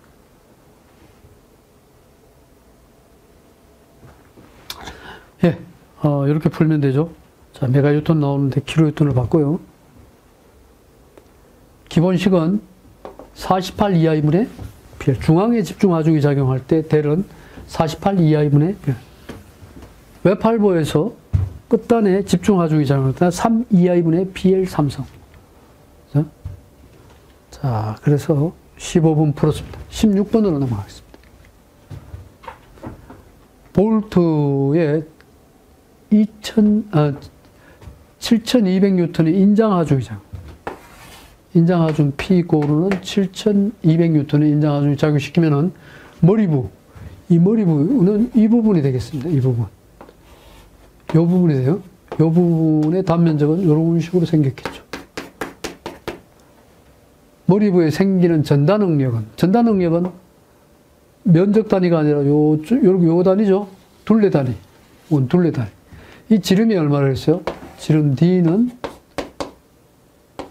파이 25mm라 그랬어요. D는 25mm예요. 25mm. 자, 그러면 원둘레 방향으로 작용하는 하중. 게다가 요, 요만큼이 되겠네요. 요만큼. 그래서 요거 파이 D가 되죠. 파이 D H. H 이코는 18mm. 파이 D H가 바로 요, 요런, 요런 거죠. 요렇게. 요런 형태. 요거의 면적 단위는 이거 곱하기 이 길이. A 이는 파이 DH. 이거 알아야 됩니다. 위에 생기는 전단 응력은 몇 메가파스칼인가. 요거 알면은 이 문제 바로 풀 수 있는 거죠. 전단 응력 타우 이는 A분의 P. 여기서 A는 파이 D H분의 P 이렇게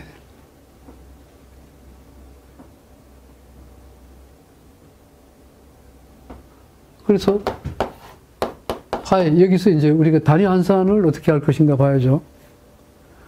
몇 메가파스칼인가 모르겠어요. 메가파스칼. 1 메가파스칼은 1 뉴턴 per 밀리미터의 제곱이라는 거. 이거 항상 알아둬야죠. 1 메가파스칼은 1 뉴턴 per 밀리미터의 제곱이다.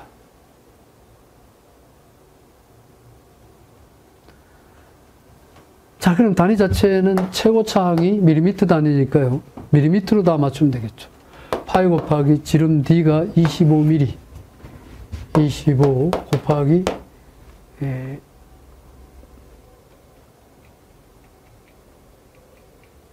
높이 H는 18mm.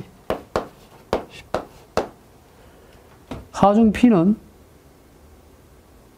7200 뉴턴이라고 했는데 7200 뉴턴을 우리가 이걸 그대로 써버리면은 단위가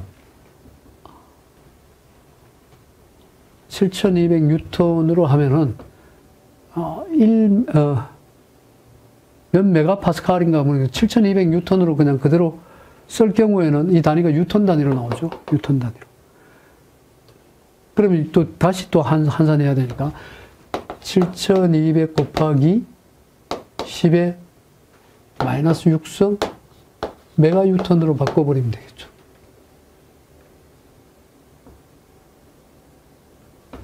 굳이 그럴 필요 없네요. 왜 그렇죠? 1메가파스칼은 1뉴턴이니까요. 7200 그대로 써주면 되죠.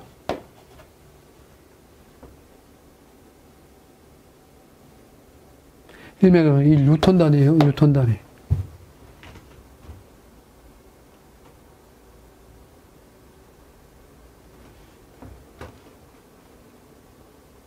그럼 답 나오겠네요.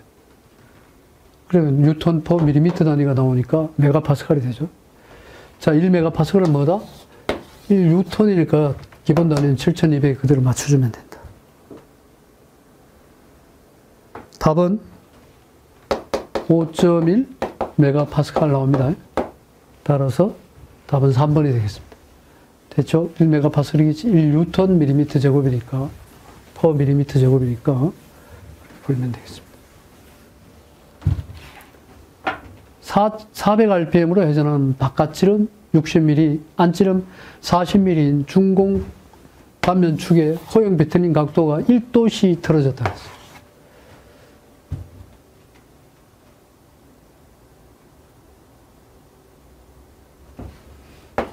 이코는 예, 파이분의 180도로 하면 되는데 1도 틀어졌어요. 1대 180이 고르는 x 대 파이.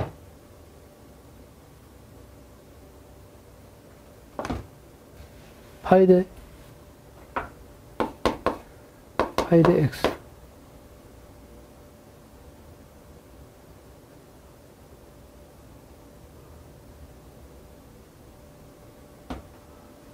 백팔십 파이 고르는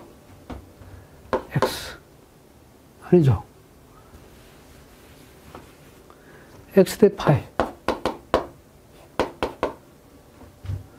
180x 이꼴은 파이 x는?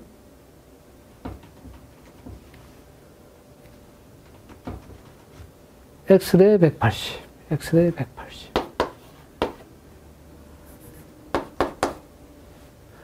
호도법에 의해서 파이 대 파이는 180도라고 했고요. 그다음 이런 파이를 일로 봤을 때는 x다. 이렇게 하면은 x는 파이분의 180이 돼가지고 이거는 3.74, 75점 얼마가 되나 57.3이 돼요. 57.3. 이걸 염두에 둬야 됩니다. 파이 대 180, 파이는 180이라 했고요. 1대 x. 1대 1대 에, x도 이렇게. x도는 x도는 57.3도. 1도 비틀어졌다는 말. 세타 이꼬르는 세타도 이꼬르는 GIP. GIP분의 PL. EL. GIP. GIP분의 PL. 에, 에, DL. 세타 이꼬르는 GIP분의 TL인데 요 앞에다가 뭘 곱해야 돼요? 57.3을 곱해요. 왜? 소도법에 의해서 도로 바꿔야 되니까.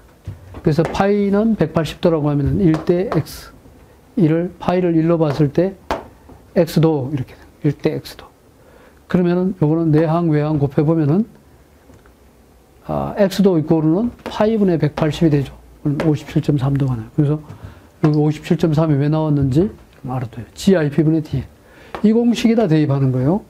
바깥지름, 안지름이 준공일 때 단면에 허용 비틀림, 허용 비틀림 각도가 1도일 때 이 축이 전달할 수 있는 동력의 크기는 몇 킬로와트인가? 동력 크기 T는 킬로와트로는 T는 원래는 974 빵빵빵 N분의 H 킬로와트인데 이거는 식이 킬로그램 폴스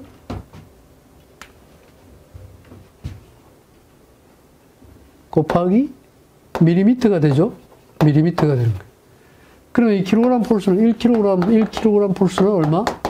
9.8 뉴턴이므로 이걸 다시 곱해요. 974 빵빵빵 곱하기 9.8 곱하기 n분의 h 킬로와트 단위는 어떻게 된다?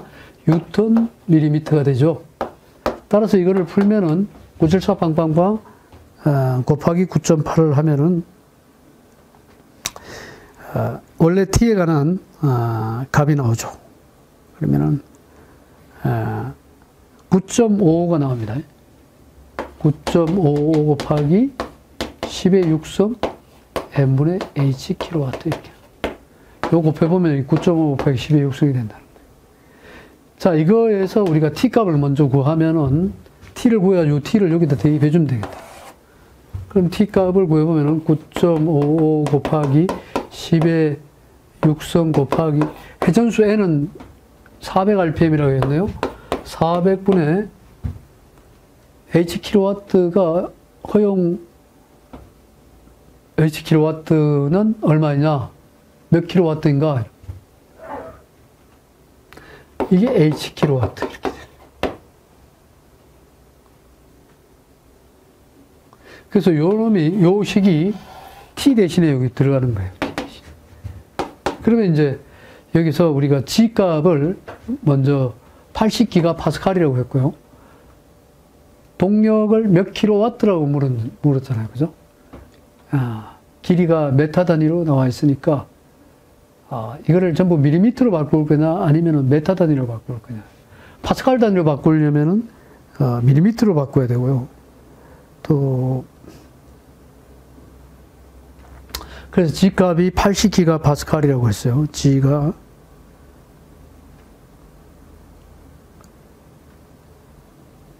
80기가 파스칼이니까 80 곱하기 얼마? 10의 삼승 메가파스칼 단위로 바꾸죠. 이 메가파스칼이라는 말 자체가 뉴턴 per 1메가파스칼 뉴턴 per 밀리미터의 제곱이니까 단위 자체는 뉴턴 단위로 다 바꿔버리고 그 다음에 밀리미터 제곱으로 바꿔버리면 되겠죠. 그럼 이렇게 57.3에다가요 곱하기 G, G에다가 IP는 이렇게. IP는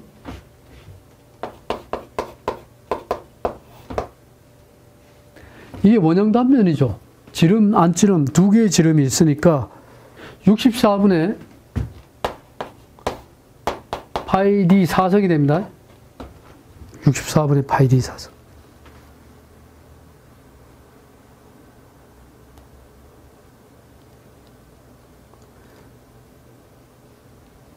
그래서 중공이라는 말 자체가 중요하죠.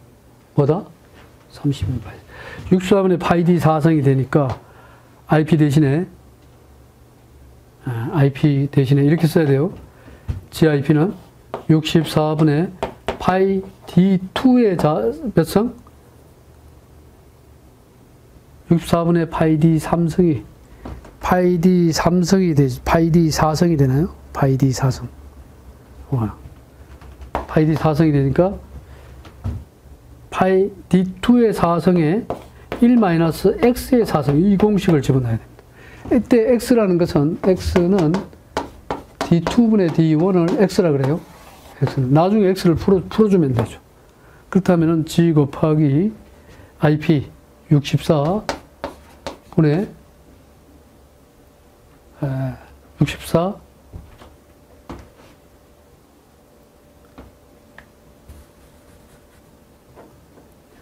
64분의 파이. D2의 4성에 1-x의 4성 이렇게 됩니다. 중공일 경우에. GIP에 T는 어떻게 써야 되나? 9.55 곱하기 10의 6성 곱하기 400분의 H 킬로와트 이렇게. 이제 다 어, 이거를 하나의 우리가 식으로 한번 생각해 보면은 57.3도가 있고요. 곱하기 G라는 걸 한 번 더 풀어 쓸 수 있죠. G는 얼마? 80 곱하기 10의 3성 메가파스칼이고 1 메가파스칼은 1 뉴턴 퍼 밀리미터의 제곱이라고 했기 때문에 뉴턴 단위로 빠져나왔죠. 따라서 우리가 어, G값을 그대로 집어넣으면은 80 곱하기 10의 3성 어, 곱하기 64는 분모로 가고요. 파이 D2의 D2도 우리가 D2, D1을 풀어봅시다. 여기서 D2 이꼬르는 바깥 지름이 60mm라고 했고요. D1 이꼬르는 40mm라고 그랬어요. 그대로 집어넣읍시다. 파이 D2에서 파이 D2가 얼마다? 파이 D2가 60이라고 해요. D2는 60이라 했죠. 8 곱하기 60의 4성. 64는 위로 올라갑니다. 64는. 그 다음에 1 마이너스 D2분의 D1이 X라고 했어요. D2분의 D1을 하면은, D2분의 D1을 하면은, D2가 얼마요? 중괄로 합시다. D2가 60이니까 60분의 40의 1 마이너스, 이거의 4성이죠. 이거의 4성.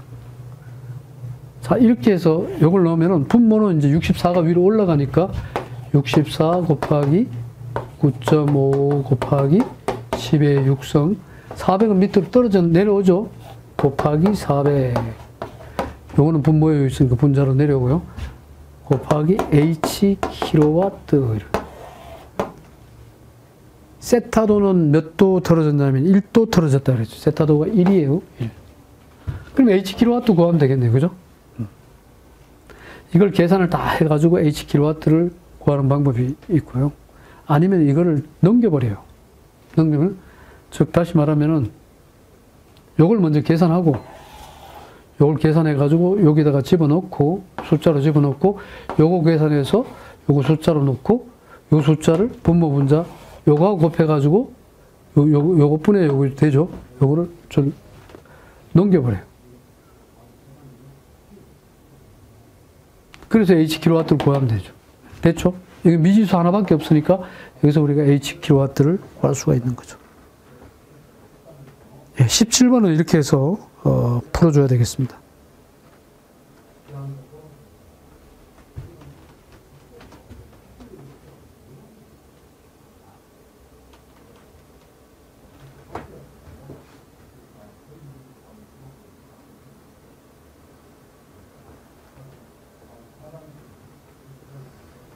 이거를 굳이 푼다 그러면 이렇게 아 저는 이렇게 푸는 거를 그대로 제대로 풀고 싶은데 이렇게 H 킬로와트로 놓고요.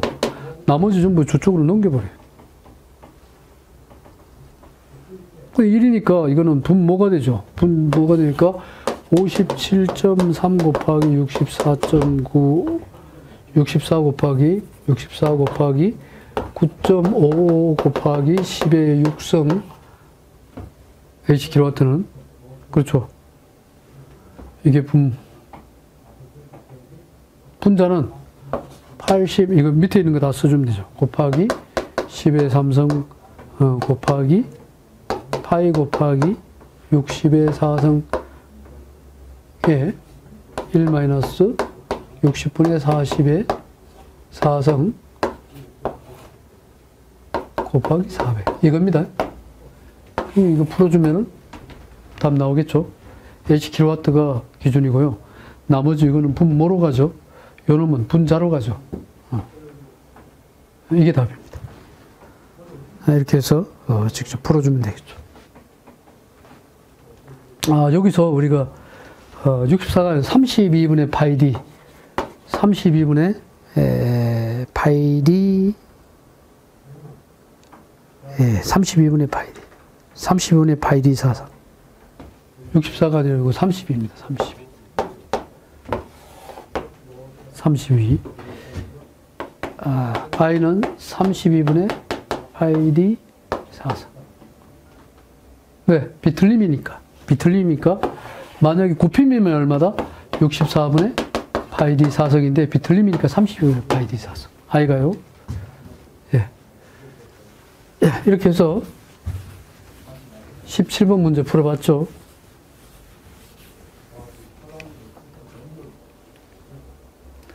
다음 그림과 같은 구조물에 1000뉴턴의 물체가 매달려 있다. 두 개의 강선, 이거를 우리가 F, AB라 그러고요. 이쪽으로 작용하는 F, AC 하중이 작용한다. 이렇게 하면 되겠죠. 이럴 때 우리가 여기에 수직선을 하나 쭉 그어주고요. 이렇게. 선을 하나. 하나 쭉 그어가지고.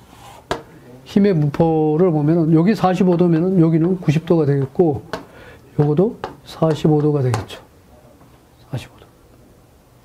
여기도 선을 하나 쭉 이렇게 그어줘요. 수평선을 하나 딱 그어줍니다.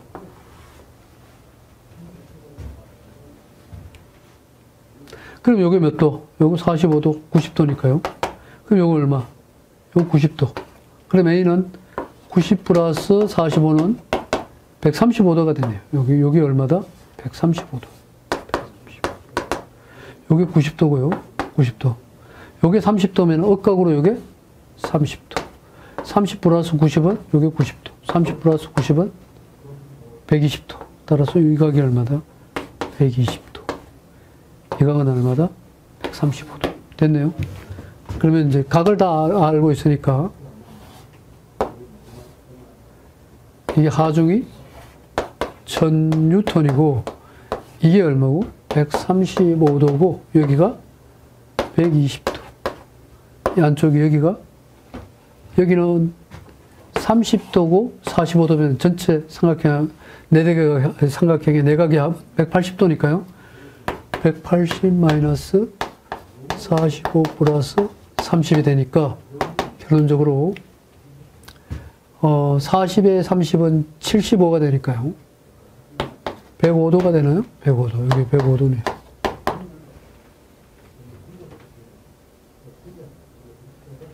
자, 이제 이렇게 하면은 라미 정리를 이용한다라는 거죠. 라미 정리. 이 부분이 뭐다? F, AC.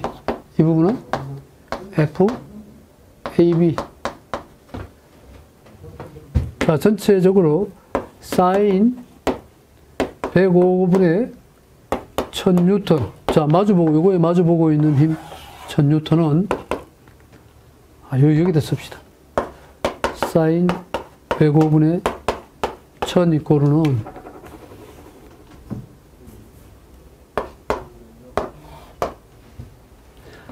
아, FAB, AB와 AC 크기 다 구하라고 했으니까 120도일 때는 뭐예요? F, FAB부터 갈까요? 그럼 사인 135도일 때는 FAB 요거에 마주보고 있는 것은 요거죠. 또 요거에 마주보고 있는 힘은 요거죠. 요 힘과 요 마주보고 있는 사인 120분의 FAC 이제 이제 뭐 요거부터 요렇게 구하면 되겠죠. 그럼 미지수가 뭐 나와요? FAB 나오죠. 요렇게 대각선으로 서로 곱해주면은 F A B 사인 105 이거는 1000 사인 135가 되니까요. FAB 구할 수 있겠네요. FAB 이꼬르는 사인 105분의 1000 사인 135 이렇게 되죠. 그럼 FAB고 요것도 마찬가지. 요것과 요것이 갖다가 놓고 풀어주면은 FAC도 구할 수 있겠죠. 이렇게 해서 라메 정리를 이용해서 어, 풀어나가는 방법입니다. 그래서 보면은 답 나오죠. 네. 라미 정리를 이용하는 방법. 시험이 잘 나옵니다. 풀 수 있어야 됩니다. 라미 정리. 이 문제를 풀 때는 수평선과 수직선을 그어서 푼다. A점을 기점으로 해서 수평, 수직선을 그어서 각각의 각도를 구한 다음에 마주보고 있는 부분의 힘과 힘과 마주보고 있는 각, 힘과 마주보고 있는 각을 라미 정리를 이용해서 푸는 방법이다. 그림과 같이 스트레인 게이지, 여기 스트레인 게이지입니 다. A, B, C의 스트레인 게이지를 45도 각도로 배열한 경우 각 스트레인 게이지에 나타나는 스트레인 양, 어, 각 스트레인 게이지에 작용하는 스트레인 양을 갖다가 어, 이용해서 어, 스트레인 양을 이용하여 구해지는 전단 변형률은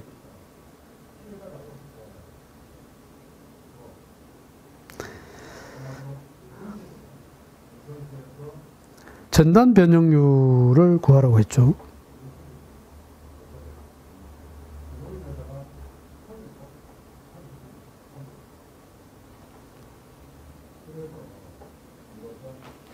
입실론 변형률, 입실론 B 요겁니다.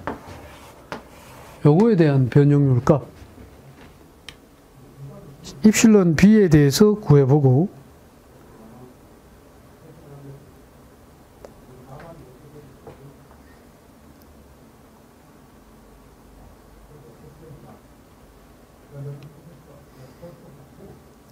원래 기본식은 입실린 B에 관한 식이 이런 식이 있다는 거죠. 2분의 1에 2분의 1에 입실론 AC AC AC 2분의 1에 2분의 1에 입실론 A와 플러스 입실론 C 또 플러스 2분의 1에 입실론 A 마이너스 입실론 C 이만요. AC, AC인데 AC 마이너스 C의 코사인 2세타. 코사인 2세타.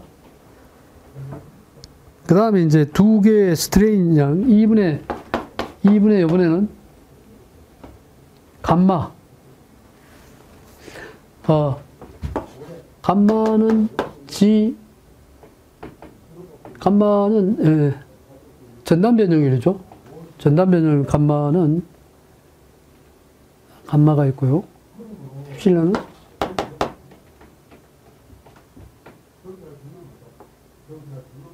E의 입실론이 되고요. G의 감마가 돼요. G의 감마, E의 입실론, E의 입실론은 시그마, G의 감마, 타우 이렇게 됩니다. 그러면은 G의 감마가 타우니까 여기서 감마를 구해보면은 감마는 G분의 타우가 이렇게 되죠. 그래서 이거는 횡탄성, 이거는 E의 입실론은 시그마는 이거는 인장이나 압축일 경우는 E의 입실론. G의 감마는 타워가 돼요. 감마는 G분의 타워 이렇게. 감마는 변형 이 2분의 감마로 하고요. 2분의 감마로 하고 사인 2세타가 됩니다. 사인 2세타. 이거를 풀어내는 식이에요. 이, 이 식을 풀어서 간단히 하면은 감마에 가는 식으로 풀어주면 어떻게 되냐. 이 전부 2분의니까 여기다 2배를 곱해주면은 2의 입실론 B 이코르는 입실론 A 플러스 입실론 C 되죠? 플러스 또 2, 2는 2배를, 2를 전, 전체적으로 좌변, 우변을 다 곱했으니까요. 입실론 A 마이너스 입실론 C 이렇게 되고 얘뭐 코사인 2세타가 되고 그 다음 나머지는 플러스 감마에 사인 2세타 이렇게 되는 거죠. 여기서 간마에 관해서 풀어주라고.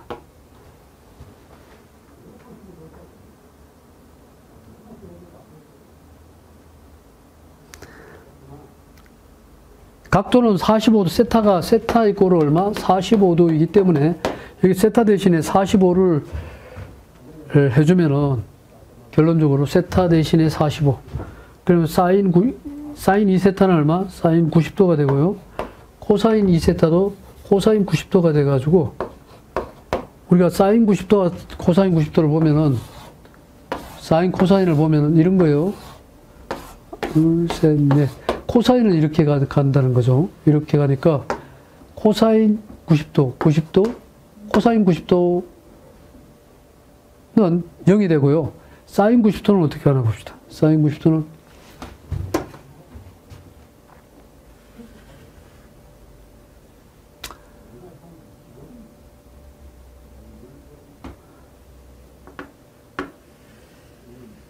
이렇게 되죠. 사인 90도.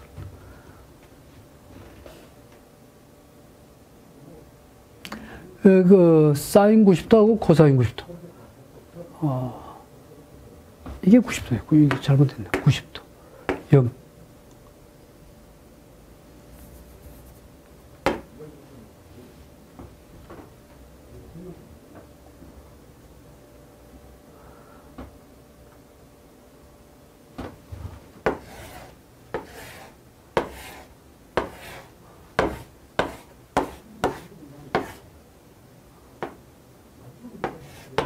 이게 제로고요. 플러스 1, 마이너스 1이면은 사인은 여기서부터 이렇게 해서 이렇게 되죠. 사인 90도는 여기 90도는 플러스 1이 되죠. 플러스 1. 코사인 90도는 이렇게 해서 이렇게 가니까 코사인 90도는 제로예요. 사인 90도는 사인 90도는 플러스 1. 이거 플러스 1. 코사인 90도는 0이니까 이거 없어지죠? 이거는 뭐가 된다? 그래서 우리가 이제 이 식을 다시 한 번 더 쓰면은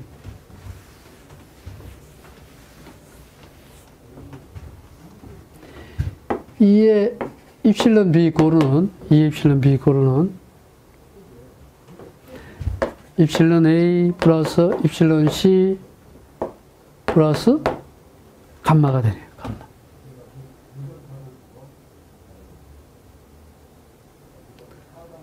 따라서 감마라고 하면 감마는 감마는 2의 입실론 b 마이너스 입실론 a 마이너스 입실론 c 이렇게 되네. 그래서 답은 여기 되네요. 2번. 아, 그래서 우리가 strain gauge를 이용해서 가운데 부분, 요 B 영역에 B 영역의 strain gauge가 늘어나는 부분에 어, 변형률은 입실론 B는 어떻게 되냐? 한 번 더 입실론 B에 대한 식을 쓰면은 2분의 1 입실론 A 마이 플러스 입실론 B 또 플러스 2분의 1 입실론 A 마이너스 입실론입니다. 입실론 B의 코사인 2세타 그죠? 코사인 2세타 그 다음에 2분의 감마에 감마는 이 전단 변형률 감마죠. 감마의 어, 입실론 A와 입실론 B 사이에는 2분의 감마에 사인 2 세타 이렇게 이 식이 생깁니다. 이때 세타 이코르 얼마? 45도라면은 여기 45도 넣고 45도 넣어가지고 아, 이 감마에 대해서 풀어주면 돼요. 감마에서 풀면은 답은 2번이 되겠죠. 네. 19번의 strain gauge에 관한 식입니다. 예, 20번 문제 풀어보겠습니다. 단면이 4cm 제곱이고요. A 고르는 4cm 제곱입니다. 하중이 작용할 때 몇 cm 늘어나는가? 자, 늘어난 길이 람다 equal은 AE분의 PL이죠. 여기서 우리가 고려해야 될 이거를 P1이라고 하고요. 이거를 P2라고 하고 요 늘어난 가운데 부분을 P3라고 이렇게 합시다. 그러면은 원래 식은 A2분의 P1 요 길이가 L1 요 P2의 이게 L2 요게 L3 이렇게 하면 되겠네. P1 L1 플러스 P2 L2 플러스 P3 L3 이렇게 해서 계산하면 되겠죠. 따라서 우리가 A 값은 4cm라고 탄성계수 여기서 요 기가파스칼을 바꿔야 되겠죠. 이 고르는 210 곱하기 10의 3성 메가파스칼로 바꿉시다. 1메가파스칼은 1메가파스칼 이꼬르는 1, 1, 자, 메가파스칼로 바꾸느냐, 아니면 킬로파스칼로 바꾸는 게 좋겠습니다. 왜냐하면은 하중 자체가 전부 다 킬로 뉴턴 단위로 늘어났기 때문에 그 10의 6승 킬로파스칼로 바꿉시다. 결국 1킬로파스칼은 1 킬로 뉴턴 per 메타의 제곱이니까요. 어, 단위 자체를 우리가 메타로 바꿀 그대로 풀 필요가 있겠죠. 어, 메타로 바꾸면은 이거는 0.0 A는 0.4cm의 제곱이라 했죠. 그럼 0.04cm 제곱 이렇게 되겠습니다. 메타로 바꾸면은 그렇죠? 4는 메타로 바꾸면은 100분의 4가 되니까요.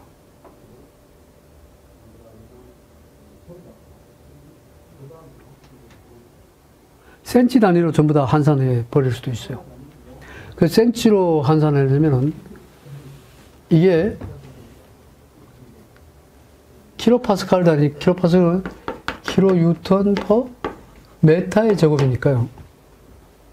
이 센치 제곱으로 바꾸잖아요. 킬로 뉴턴 per 센치 제곱으로 바꾸려면은 어, 1, 1m, 1m는 100cm니까 10의 4승 센치니까 1m 제곱은 10의 4승 센티미터가 되죠. 10의 4승 센티미터가 됩니다. 그러면은 센티미터 제곱이 되죠. 그럼 요거를 다시 쓰면은 210 곱하기 10의 6승 어, 곱하기 이거 10의 6승에 킬로 뉴턴 per 메타 제곱은 센치로 보면 10의 4승 센티미터 제곱 이렇게 바꿔도 됩니다. 그 단위를 전부 센치로 바 통일시키는 것도 좋은, 좋은 방법 중에 하나예요. 그럼 이 결론, 결론은 뭡니까, 이게? 210 곱하기 10의 4성분의 1은 10의 마이너스 4성이니까 10의 자성 킬로 뉴턴 퍼 센티미터 제곱 이렇게 바꿀 수 있죠. 이렇게 됩니다. 따라서 우리가 이 값을 A 값은 그대로 둬요. 4cm니까 4 곱하기 이 값 대신에 210 곱하기 10의 자성으로 해서 요, 요 단위로 바꿨습니다. 그러면 이제 센치 단위로 다 바꿨다는 거. 대신에 이거를 우리가 메타 단위를 센치로 더 바꿔줘. P1 L은 P1은 60kN이니까 60 곱하기 이 L1은 2m니까 센치로 바꾸면은 200cm가 되나요? 200. 이거 또 플러스 P2.